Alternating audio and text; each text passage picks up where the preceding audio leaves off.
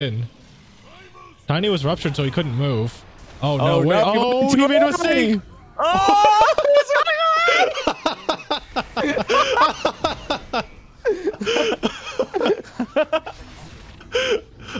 Holy shit. Is Mad Max gonna get? I think he is. Totally fine, right? Yeah, he is. Lich is about to die to DP. Weaver has to back off. Damn, what a clown fest.